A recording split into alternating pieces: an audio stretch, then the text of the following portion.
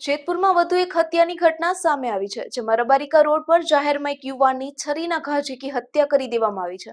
હત્યા સરા જાહેર થઈ હોવા છતાં, ભોગ બનનાર યુવકને બચાવવા કોઈ પણ પ્રયાસ ન કર્યો હોય તેવું સીસીટીવી ફૂટેજમાં જોવા મળી રહ્યું છે. ત્યારે કાયદો વ્યવસ્થાના રીતસરના ચિથડા જેતપુરમાં ઉડી રહ્યા છે. જેતપુર પંથકમાં એક હત્યાની ઘટનાને લઈને પોલીસની કામગીરી સામે પણ સવાલો ઉઠી રહ્યા છે. પોલીસ અને પ્રશાસન આ વિસ્તારમાં પ્રજાને નિર્ભય બનાવવામાં નિષ્ફળ રહ્યું હોય તે પ્રકારે ખુલ્લેઆમ હત્યા થઈ છે. બનાવની જો વિગતવાર વાત કરીએ તો જેતપુરના હાર્દસમાં રબારિકા રોડ પર દિન દહાડે હત્યાની આ ઘટના બની છે. જેમાં નવાગઢ વિસ્તારમાં રહેતા દેવાભાઈ રાઠોડ નામનો યુવાન દુકાને બેઠા હતા. તેવા સમય અજાણ્યા શખ્સો આરામથી મોટરસાયકલ લઈને ત્યાં આવે છે. ત્યારબાદ ઠંડે કલેજે મોટરસાયકલમાંથી ઉતરી કંઈક વાતચીત કરી અને દેવાભાઈને સીધા જ છરીના ઘા ઝીકવા માંડે છે.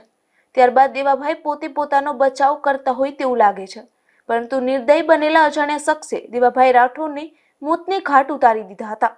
આ ઘટના રીતસરની સીસીટીવી કેમેરામાં કેદ થઈ છે. જેમાં જોઈ શકાય છે કે બેખોફ બનેલા શખ્સે કેવી રીતે દેવાભાઈને મોતને ઘાટ ઉતારી દીધા હતા. ઘટના સમયે રોડ પરથી અનેક લોકો પસાર થાય છે. તેમજ ઘટના સ્થળે આસપાસમાં પણ અનેક લોકો જોવા મળી રહ્યા છે. તેમ છતાં કોઈએ દેવાભાઈને બચાવવા પ્રયાસ ન કર્યો હોય તેવું લાગે છે. જેતપુર જેવા શહેરમાં આવા તત્વો બેખોફ બની ખુલ્લેઆમ હત્યાઓ કરી રહ્યા છે. તેમ છતાં, કોઈ તેને બચાવવાનો પ્રયાસ કરતો નથી. ત્યારે જેતપુર પોલીસનો હત્યારાઓને કોઈ ડર જ ન હોય, તેમ હત્યા કર્યા બાદ પણ તે ઠંડા કલેજે ત્યાંથી નાસી જાય છે. તો આ હત્યારાને પકડવાની હિંમત પણ કોઈ કરતું નથી. જોકે હત્યા બાદ પોલીસે સીસીટીવી ફૂટેજને આધારે આગળની કાર્યવાહી હાથ ધરી છે. હરેશ ભાલિયા, ગુજરાત ન્યૂઝ, જેતપુર.